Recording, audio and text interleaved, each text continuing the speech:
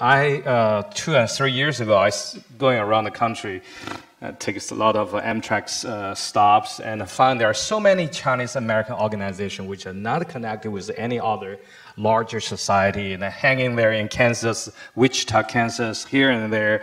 Uh, it's just amazing. Uh, community with all these thousands of groups there. So we, that's what we decided to do. Five program area. Number one, civic engagement, and that's also the most important that we do. Political participation, celebrating heritage, youth health and mental health, and the last one is a greater understanding between U.S. and China. So we have this by mission. Um, our convention is uh, one of the most important platform that UCA does. Uh, in our existence of little over two years, we have had successfully two national convention. Uh, this is our second one. We just uh, we just get it down uh, about uh, months ago. Uh, this one we have about 500 participants from 32 states. We fully envision our next one will have more participants and from across the country. Now, I want to also thank quickly uh, Winston and Ariane and uh, Winston for your big help. Without your help, this convention won't be the same. Thank you so much. And uh, that's our last one.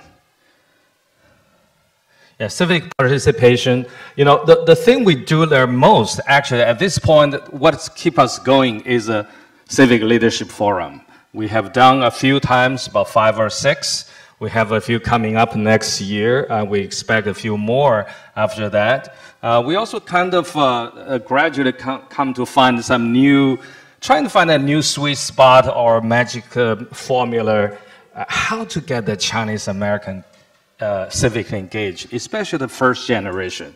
I, I want to also add that the, all of this is done in a very, very uh, uh, tough, um, polarized, uh, politicized the mainland. And those of you are laughing, you, those of you must be in the WeChat where you know how tough UCA has been. Now, uh, I know all of you have done a great job, but none of you have uh, been in such a harsh, hostile environment as UCA has been. We're in the middle of that. It is so difficult. You know, Kristen, you're laughing. You know, you know. All right. Uh, well, and thank you for the support too. Uh, so defending civil rights is something we, we have done. Even a few months before UCA came into being, we started with the Sherry Chen case, which we really blew it up nationally, nationally, especially on Capitol Hill with the KPAC, and later on, a few months later, uh, Xi Xiaoxing, uh, Professor Xi's case also came out. So that two defining cases where we are have been doing all in the last two years and has really got now everybody knows Sherry Chen and everybody uh, uh, uh, take that as a very glorious cause. But uh, when we started out, it's pretty tough. And whoa, my time is up, Lord. Okay. Um, we have a, a, specific project of which our chairman Xiao Yan is leading. It's called the Interactive Chinese American Heritage Map, where you, in, you can go to the, your computer and go to our website and just find any information you can about the rich history of Chinese American involvement in this country or dynamic information. Uh, celebrating heritage. And uh, again, the Lunar New Year is around the corner. What you know, at UCA, we are a, a civic committed organization. We really think that uh, we're not just uh, voter registration. We're not just political participation. We're also trying to see how Chinese Americans can be energized in, in, public service, but also in the way of life, the, our values, so that we may be able to have a chance to put the best of the East and the West together in our community. Uh, youth mental health is a big part of what we're doing. We have done successfully several ones. We're having one coming up in uh, Minneapolis in a few days. Yeah, SKLO, yeah.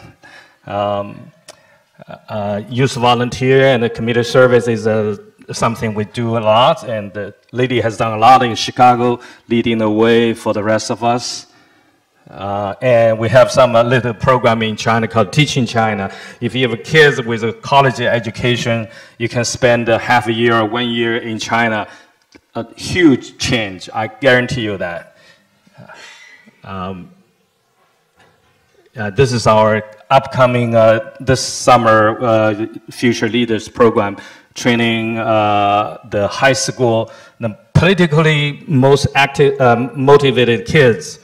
Uh, that I'm going to get Michael's help a lot. Michael, I need your help.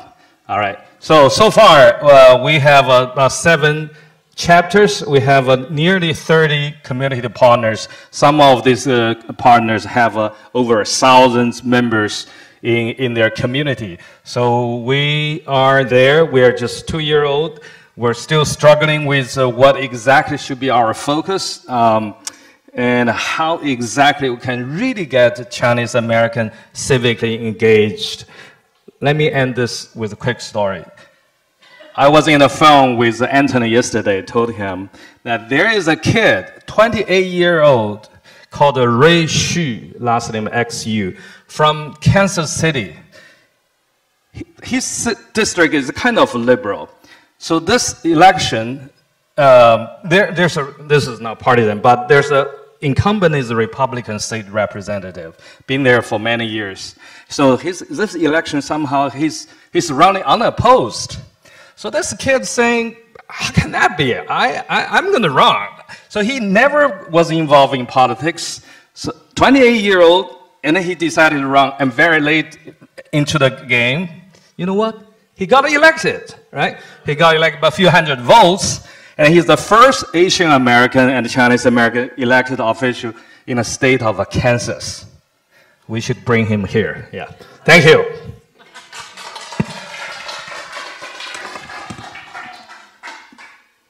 Thank you. Unless